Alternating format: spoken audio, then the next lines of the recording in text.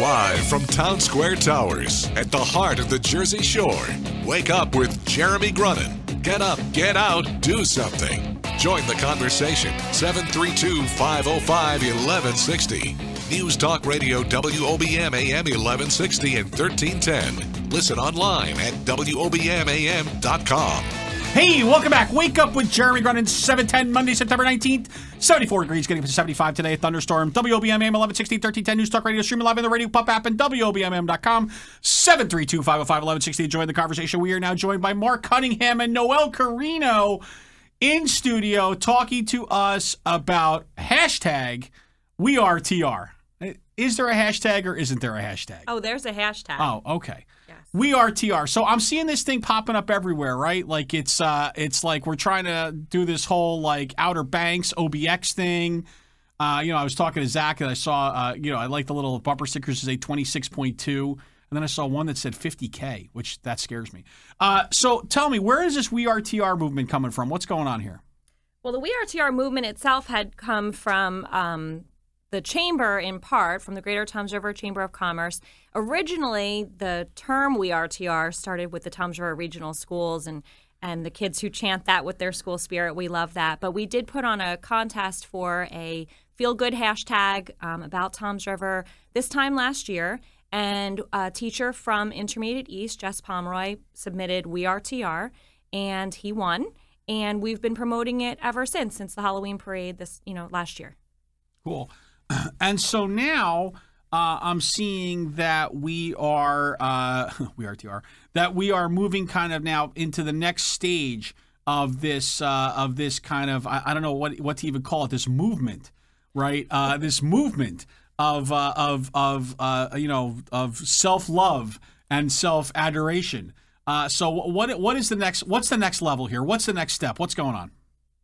Good morning, Jeremy. Good, Um, good morning, Mark. I'm sorry. So on the uh, the We Are TR uh, background that Noelle's covered, that turned into something that dovetailed with the project we were working with on the Economic Development Committee in the Chamber of Commerce, Greater Toms River Chamber of Commerce.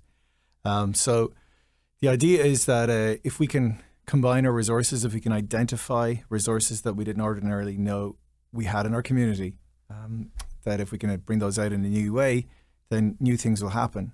So the forum that's coming up that we're speaking about this morning is about, oh, uh, I suppose, a platform for people to come out and say, "Hey, what would we, uh, what would it look like if?" Is going to be the, the monthly question, and the first one, which I suppose we can talk about in a minute, is about what would it look like if downtown was known as a River Arts District. So who's that going to bring out? What resources are we going to see? What uh, arts educators? What uh, artists? What musicians? What poets? What business owners? What property owners? Uh, uh, people from the county?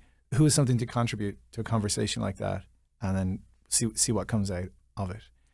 Now, Mark, first I want to I want to uh, I want to first of all say I love the word dovetail, right? I think it's a I think it's a really nice way of saying connect. I really like that. That's uh, well done. Thank you. Um, now, I think it's I think when we start talking about you know T- Toms River and you know and reimagining it and this that and the other thing, and I think when you start talking about it particularly. I think it's important for you to tell your story a little bit because the accent is clearly, you know, South Jersey Yes, right? I mean, yeah. much deeper South Jersey. So I think we have to make sure that we, uh, we we have a full understanding. And I think a really for you, I think you uh, being what I'm going to call, and I mean this with love, an outsider here Right. to some extent. I think it's important to the uh, to the, the the lens that you use to see Toms River. So why don't you talk a little bit about your story and how you ended up here uh, in in our great town? Sure, yeah. Uh, I'm from Tullamore in Ireland, where the great uh, Tullamore Dew whiskey comes Right. from. Um, I've been coming Uh, back. by the way, I, I love I love any town that's known for its whiskey. Right. I mean, that's really what uh, that that Yeah, you- right away is a telltale sign. you can yeah. keep your maple syrup or your beef We have production. whiskey. Tullamore too. All right, go ahead. I'm sorry. um, so yeah, I'm from Ireland. Uh, I married a Toms River girl who I met in Ireland, and we lived there for 15 years. And um, we were always back and forth to Toms River, and we always loved coming here. Um, but I guess that gives you an outsider's perspective when you visit a town for a couple of months a year, uh, Christmas, and in the summer you, you think about it in a slightly different way than when you if you live here full time. But we've been living here full time for over three years now, and since we came back, we've tried to get involved in different things um, that show how we appreciate this town, and it really is a super town. Um, there's so many super people. There's great schools. We've got all these amenities all around us, like the water.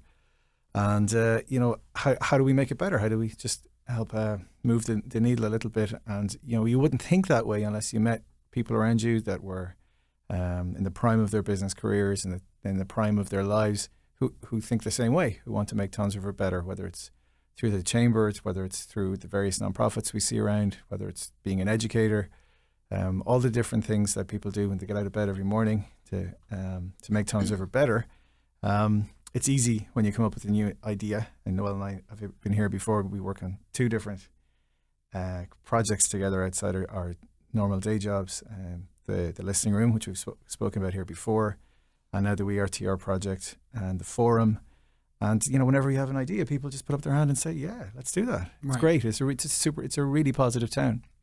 So before we get to uh, what conversations and cocktails is really all about, um, I'd like to. Uh, uh, I, I I really think we need to give a little bit of background because you're working really with uh, with another group from outside of the area that's helping us kind of uh, helping us navigate through reimagining the town to some to some degree. So talk about that for a second. Okay, so um, in February of 2016, we started working with a group out of Purdue University. Um, they work on projects um, deemed agile strategy sessions and projects where um, they go to towns that need to uh, elevate or, or change things or want to do those things, and they work them through the process of getting there. And so they've done this in many, many places um, Asheville, North Carolina, Charleston, South Carolina, Flint, Michigan. Um, and they were gracious enough to come out here and, and speak with us.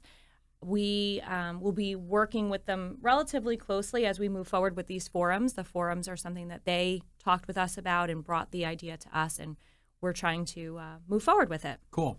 Uh, by the way, I see a theme developing here because Purdue, uh, that's the Boilermakers, and a Boilermaker, we you know we know what a Boilermaker is in bar in, in bar terms, right? So we got the Boilermaker, Tullamore Dew, and we culminate in conversations and cocktails. So uh, yeah. and, it- and it's seven fifteen. That's that's pretty good. well, listen, it's it's five o'clock somewhere, Mark. It's five o'clock somewhere.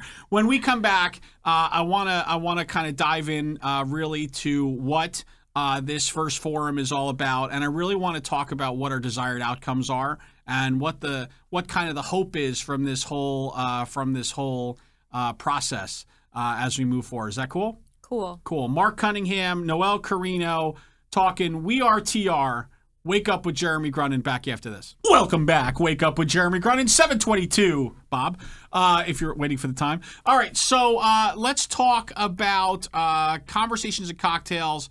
Uh, the first one is coming up uh, in, uh, in, in like two weeks, right? Just under Thursday, September 29th. Okay. Um, and so that will be at 6 o'clock over at the Ocean County Library, the Toms River branch on Washington Street.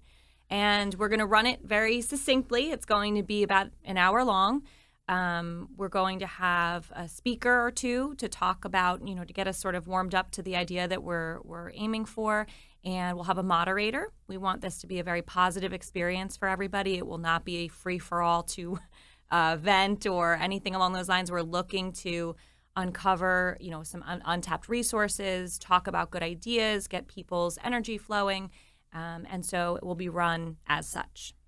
So you have a moderator. Who's the, you have a moderator? is- Yes. So Er- Eric Lubin, who's on the Economic okay. Development Committee Gotcha. with us, Eric's a, a litigator, so we figured he'd be pretty good at uh, keeping manners on people. A people. barrister? yes, a barrister, yeah. as we would say in Ireland. Yeah, Eric, Eric's a great guy, and he's going to keep things Yeah, uh, you, moving some, a- you have somewhere to be, by the way? along for us. Um, so, uh, with regards to how the forum works, the uh, the Purdue guys are very insistent that we keep it positive, much like yourself at the moment, Jeremy, trying to keep a, a light spin on things. Um, so yeah, to keeping it positive, keep making sure that it doesn't turn into a, a, a bitching session, so Right. to speak. Uh, a lot of people in any community are going to have issues or problems or things they want to get off their chest.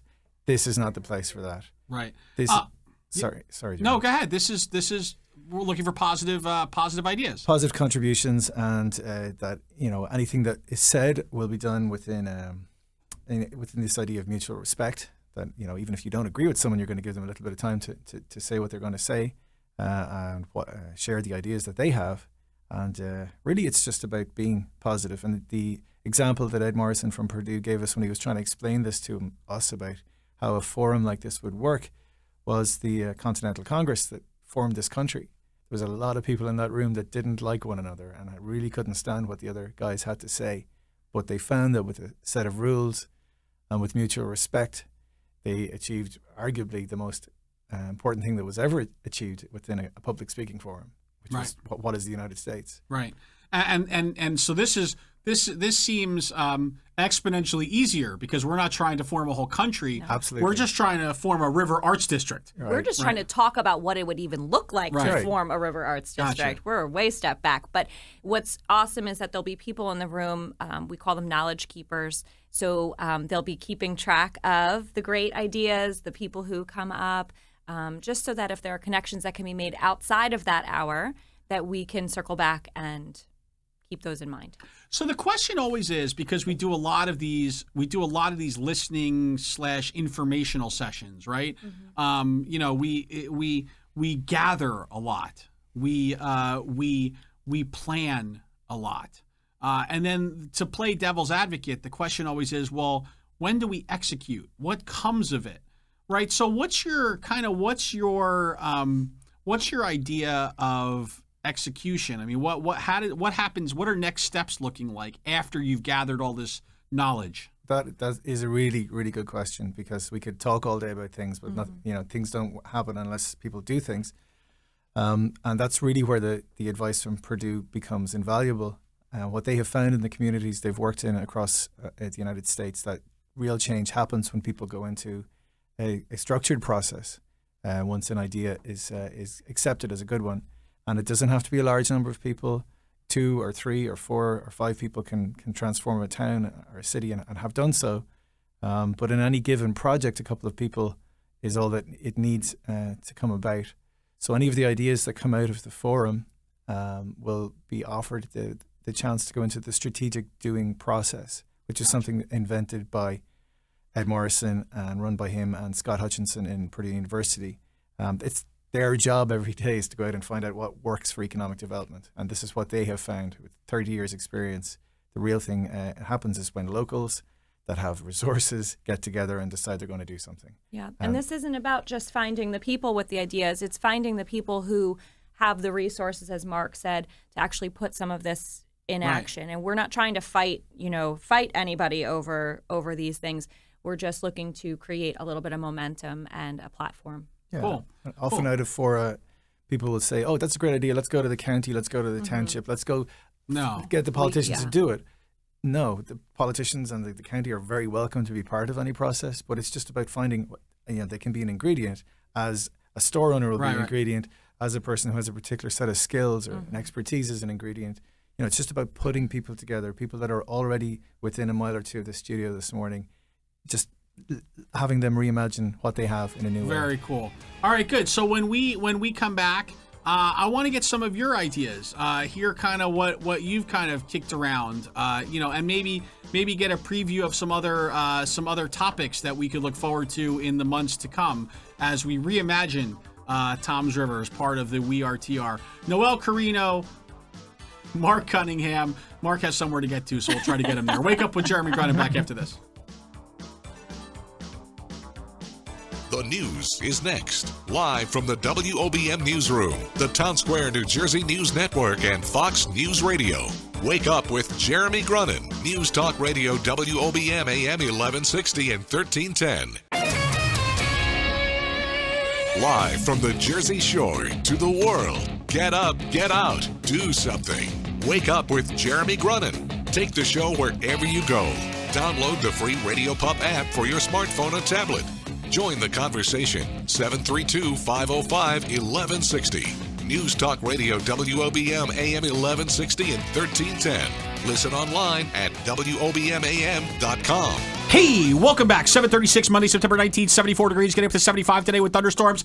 WOBM AM 1160, 1310, News Talk Radio, streaming live on the Radio Pup app and WOBMAM.com, 732-555-1160 to join the conversation. We are joined in studio by Mark Cunningham and Noelle Carino. We are talking about We Are TR. You know, okay, I'm going to play devil's advocate for a second, all right? you know, we talk a lot about reimagining Toms River. We're like, oh, it's so great here. But then, do you ever wonder, like, maybe it's maybe it's just us. Maybe we're the only one. Maybe maybe we think it's all cool and No. everything, but the rest of the world feels differently. Come on, Noelle, No, help me help I me out don't feel that way, and I'm going to tell you why. Because I have a completely different perspective than Mark Cunningham, who just got here a few years ago. He came, you know, Right off the boat. right off the boat, Yeah. exactly. Checking his watch. Where am I supposed Just out to of curiosity, be? Mark, you're not living in the shadows, right? You're No. okay. I'm sorry. All good. I, I can do radio shows. Okay, go ahead, Noelle. I'm sorry. Um, I grew up here, so much like many people, my parents moved us down here from a little further north up the Parkway, and um, we got down here when I was maybe four or five. I went through the Toms River Regional Schools, um, which was a wonderful experience, and I moved away to go to college. And I never thought I would come back. I never thought I would come back. I was trying to get as far away as I could could go, and um, I got to Virginia, and I said I want to come home. So um, it wasn't long before I was back, and I ended up um, uh, back here. And so I think that there are a lot of people who are similar to me in that they were raised here, they love it here, they know deep in their hearts that this is a wonderful place with so much potential and not only potential but there are just in general there are wonderful things here already that exist already.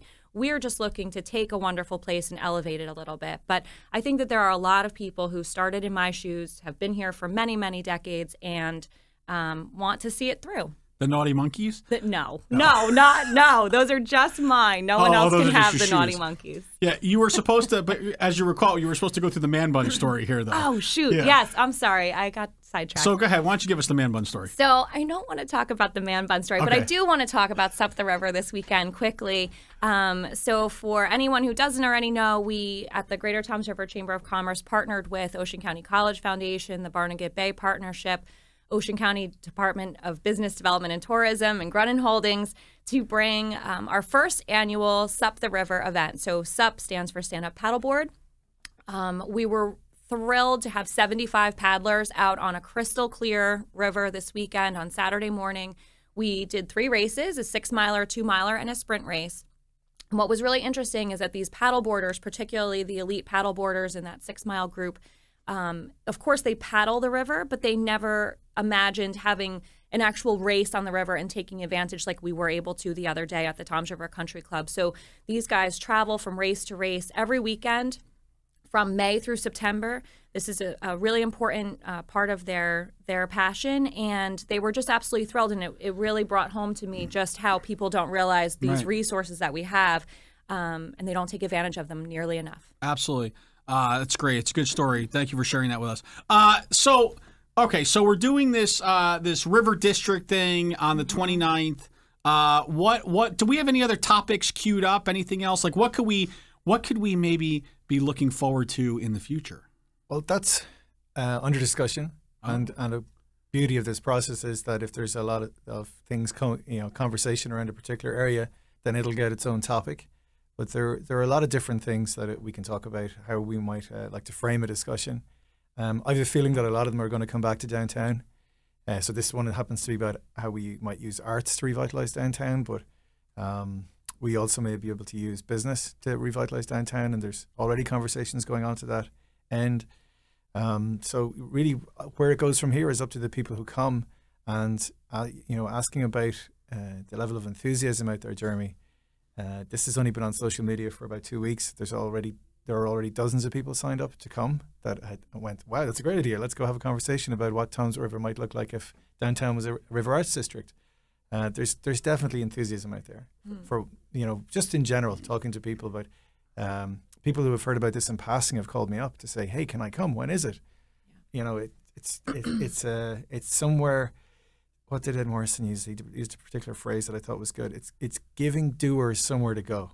Cool. Right. So yeah, and there's a lot of doers in Toms River. Are we going to take video of this thing at all? Or So that's a great question. It, um, we were offered a video opportunity from a very generous local business owner here. We did decide against it, at least for this first one. We want um, people. There are a lot of new people. and you want it to be a safe zone? We want it to be a safe zone for people to come and feel safe. It is not a marketing thing. This is Right. just a community, you know, open house. We don't want people to feel like so, it's a so socially ever after isn't going to live stream it. not this time. Oh, but okay. we'd love to have. I'm only saying it for selfish reasons because I'm going to be away next week and I'm ah, missing Oh, it, right. and that makes me sad. 'Cause it's your birthday next It's week. my birthday, and I'm going to be in Napa reimagining other things while I'm drinking wine. so anyway, I'm going to leave it at Yeah. that. All right, folks. Where? Uh, I'm sorry, I don't mean to cut you off, but you know the uh, we have to pay bills in a second. You got it. So uh, where do folks go to learn more? Is there a website? Is there anything Mm-hmm. set up? What could I what could I look at to kind of wrap my head around this? Sure. So Dawn Malinowski of Social Trend created a website for us. It's um, found at wearetr.com. Um, that will have the calendar of events. It will have some photos from the night. It has some great videos from Tom DeAngelis of the production house about our great area. Um, it has our contact information, how the forum will be run, some resources that we come up with so that people have some directions to go. And of course, you can find it on Facebook. Um, there'll be a, there is a Facebook event that you're welcome to join. You're welcome to call any of us, email any of us to get the information. But wearetr.com is really the best place. Wow, that's an awesome website. I just Doesn't it went look on to it. It beautiful? super cool. that wow. was the first time you were on it. No, I'm just saying it for the for the good of the radio No, he- community he- to show my Jeremy. excitement. He extensively researches the Yeah. shows. And Mark's still He's checking. still Mark's still checking checking his the time. So I guess we must be up against a break. Mark Cunningham, Noelle Carino, thank you so Thanks, much Emma. for joining us this morning and talking about uh, We Are TR and uh, the forums that we will begin starting uh, next week. That is September 29th, 6 p.m., followed by cocktails at Water Street Bar and Grill. Uh, that's uh, you, you got to pay for those yourself, though. We're not buying you cocktails, right? right. Yeah, just let's just be fair here. We're just going over to have a, a free you know, ride. to have an adult, you know, like have a Pepsi or something. Uh, thank you again for your time you, this morning. Jeremy. Thanks, Jeremy. Wake up with Jeremy Grunin back after this.